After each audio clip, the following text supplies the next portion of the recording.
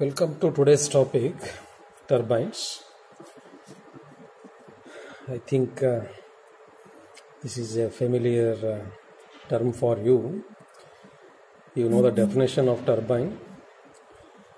Turbines are hydraulic machines which convert hydraulic energy into a mechanical energy. Then uh, I will directly go to an important uh, discussion that is uh, efficiencies of a turbine.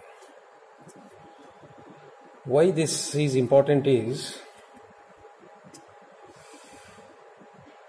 whatever the hydroelectric power generated is mainly depending upon efficiency of a turbine.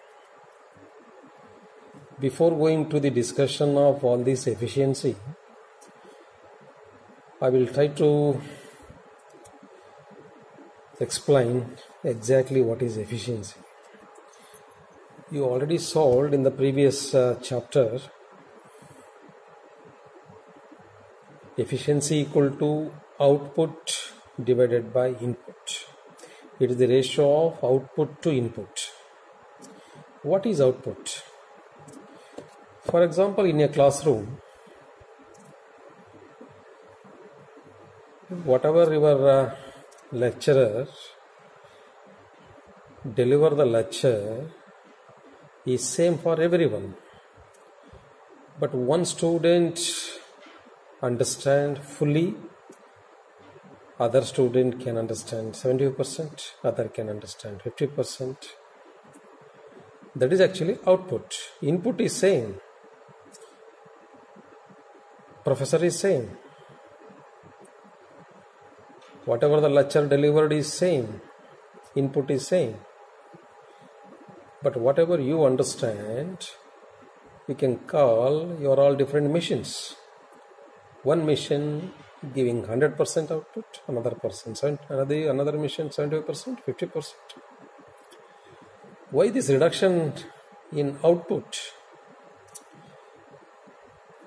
It is all simple uh, disturbance of mind your concentration is not perfect. Your observation is not right. Your listening skill is not right. There are so many reasons. Here also the output is depending upon many because it is a mission. Major uh, disturbance is the friction. Friction should be less to get maximum output let us discuss one by one what are all the efficiencies are there. First one is hydraulic efficiency denoted by eta h. Second one is mechanical efficiency eta m. Third one is volumetric efficiency eta v. Overall efficiency eta o Instead of going with this theory, I will uh, show a figure. I will explain there only. You can understand exactly what are all these efficiencies. Carefully observe. This is the penstock coming from the reservoir dam but it is a large pipe and uh, also a long pipe. At the end of the pipe, there is a nozzle, and from the nozzle, jet is coming out. Whatever the jet coming out and hits the vanes, this power I will call as a water power. Once this jet hits the vanes, this runner. This is a runner. Big wheel is called as a runner. It starts rotating. That means water power is converted as a runner power. This runner is mounted on a shaft. This also start rotating. This runner is mounted on the shaft that means runner power is transferred to the shaft. That means it is a shaft power. Water power is converted as a runner power. Runner power is converted as a shaft power. Now i will explain three efficiencies one by one. One is hydraulic efficiency. First one is hydraulic efficiency. This water power is converted as a runner power i said which is input which is output. This is first. First is always input. Second one is the output. The ratio of runner power to the water power is called as hydraulic efficiency. Then come ratio of runner power to the shaft power. Sorry. Ratio of shaft power to the runner power. This is output this is input. Okay. Output should come first. The ratio of shaft power to the runner power is called as mechanical efficiency. Then come to overall efficiency. I will take from uh, first to last. First one is water power and last one is shaft power. I will make take a ratio of shaft power to the water power. That is all that is called as overall efficiency. Three efficiencies are already explained I will repeat it once again. Runner power to water power, hydraulic efficiency. Shaft power to runner power, mechanical efficiency. Shaft power to water power, overall efficiency. Another efficiency is remaining that is volumetric efficiency. Eta V. See here, whatever the water coming out of the nozzle 100% water will not hit the vanes. Some amount of water before striking may fall. 100% water will not uh, supply here. This is input this is output. The ratio of volume of water strike the vane to the volume of water supplied is called as volumetric efficiency. I think you understood. This is the volume of water supplied, input. Volume of water striking the vane, this is output. The ratio of volume of water striking the vane to the volume of water supplied is called as volumetric efficiency. I think you understood all the efficiencies. Once again, I will show what is what. You see this hydraulic efficiency I told already RP divided by WP runner power by water power. Here formula should be remembered because they are required to solve the problems. Runner power formula actually it is the formula of work done. Mass into velocity into this is called I can call it as a displacement or movement W by G is actually mass. W by G is actually mass, velocity, and this one. Okay, W by G into VW1 plus or minus VW2 into U divided by 1000. Okay, 1000 is to convert from Newton to, sorry, watts to kilowatts. This formula is for tangential flow. There are different types of flows. You remember another formula Okay, what is runner power for radial flow? A small change in radial flow at the inlet and outlet. This u is not same. U1 and u2 are different. In tangential flow u1 equal to u2 that can be called as u that we taken common factor. In radial flow this u will not be there. Here it will come u1 and this is u2 vw1 u1 plus or minus vw2 u2 that's the only change for radial flow. That also you have to remember. Water power formula a simple formula gqh actually this is from rho gh into q. Rho gh actually a pressure at a particular point. Q is the volume of water if you simplify that formula This is the water power formula that is GQH. Again, it is in kilowatts. Mechanical efficiency explained that is shaft power to runner power. Shaft power denoted by P. It is usually given in the problems. No need to remember any formula for shaft power.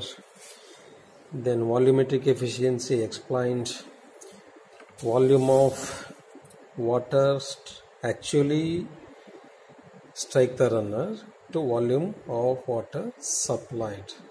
That is volumetric efficiency.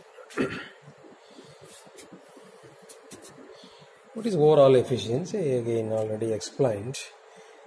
That last power that is shaft power to the first power water power that ratio is called as the overall efficiency SP divided by WP is overall efficiency. You multiplied and divide by runner power RP and RP and rearrange it. SP divided by RP and RP divided by WP. What is SP divided by RP? That is mechanical efficiency. RP divided by WP is hydraulic efficiency. Overall efficiency is the product of mechanical efficiency and hydraulic efficiency. Finally, you can write overall efficiencies that is shaft power you know, P and water power is GQH already given the formula. Then come to classification of turbines. There are four classification First classification according to type of energy.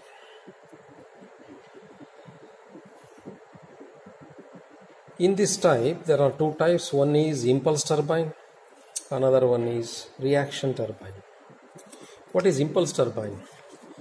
Impulse turbine means it is only a kinetic energy produced in reaction turbine both energies are there. Kinetic energy as well as pressure energy. That's the only difference between the impulse turbine and reaction turbine. If the turbine only acts with the kinetic energy that is called as impulse turbine if it is working with both kinetic energy and pressure energy that is reaction turbine. According to the direction of flow according to direction of flow there are four types. One is tangential flow turbine tangential flow turbine radial flow turbine axial flow turbine mixed flow turbine. Then according to head head race to tail race whatever the height is called as head as per that head there are three types. One is high head turbine. Another one is medium head turbine. Last one is low head turbine. According to specific speed about specific speed i will explain in the next topic. There are three types. Low specific speed turbine. Low specific speed turbine. And medium specific turbine and high specific speed turbine. Then come to the first turbine. Very first turbine invented. Very old turbine. That is called as pelton wheel. Initially people were calling that uh, hydraulic machine is a pelton wheel not as a turbine afterwards it is mentioned as a turbine pelton wheel because it is a big wheel. That's why people were calling it as a pelton wheel. Pelton is the name of the inventor. Pelton wheel can be called as pelton turbine. It is pelton wheel. Pelton wheel is a tangential flow impulse turbine. The flow is tangential and it is impulse turbine only kinetic energy is there no pressure energy this is simple definition of a pelton wheel Then come to main parts. Main parts of the Pelton turbine. There are four major parts. One is nozzle and flow regulating arrangements.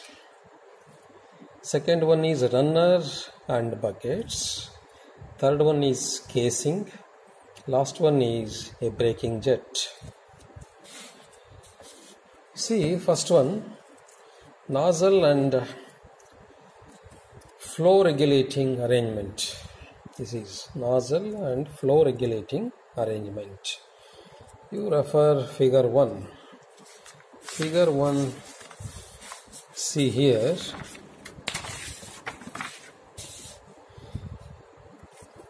This is a nozzle. This is a nozzle with flow regulating devices. Here flow, flow regulating arrangement is actually this is a spear. Spear. Okay. You can handle this spear manually or mechanically. You can push the spear forward and backward. If you bring uh, the spear forward, it will close the nozzle. That means water coming out of the nozzle will stop.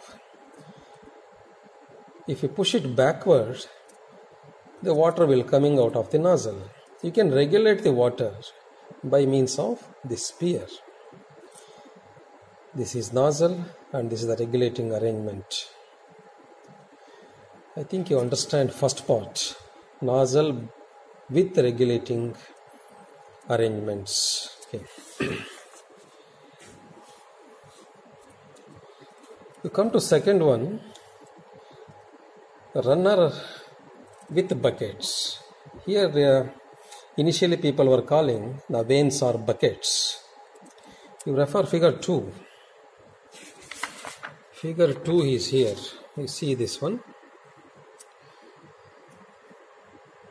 A runner, a big wheel, and mounted with a series of vanes evenly arranged.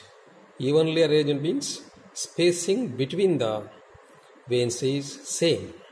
Between two vanes, the distance is same. Evenly arranged. This is about runner with vanes. I will just read out about runner with buckets. See,